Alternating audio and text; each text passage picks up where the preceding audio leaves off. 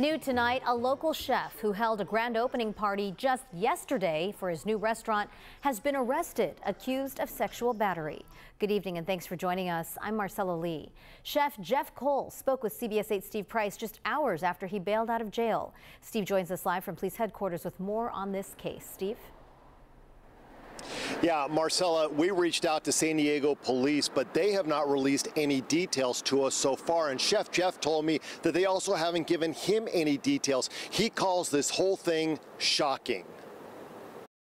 Two, three. A ribbon cutting ceremony for a new downtown restaurant kicked off what started as an amazing Easter Sunday for Chef Geoff Cole that even included a visit from Stephen Whitburn, the area's councilman. Uh, Chef Geoff, I just want to say congratulations and thank you. Brunch After Dark, or BAD as it's commonly called, was holding its grand opening party, which went off without a hitch. But after the party ended, San Diego police arrested Chef Geoff at another location. I've never been in jail in my life. Never had handcuffs on me. Chef Geoff says officers arrested him, but he still has no idea why. They told me something from my last restaurant.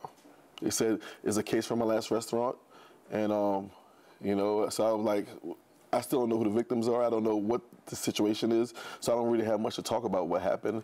According to jail records, Chef Geoff faces two felony charges for sexual battery. He's also accused of two misdemeanors, including indecent exposure. Chef Geoff denies all the allegations. I was, the whole time I'm scratching my head like, what happened? What's going on?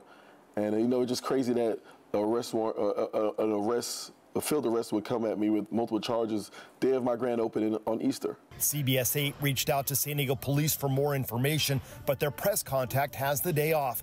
In the meantime, Chef Geoff plans to move forward, saying the arrest will not affect his new restaurant. He hopes bad will be something good for the community. I like to boost the economy, employ and um, employ the community, and you know have a place where everybody can hang you know hang out at. And as you saw from the video, Chef Geoff bailed out of jail this morning. His arraignment is currently scheduled for next week. Marcella? Steve, thanks. We will continue to follow this developing story. You can get the latest updates on our free CBS 8 app or visit our website, cbs8.com.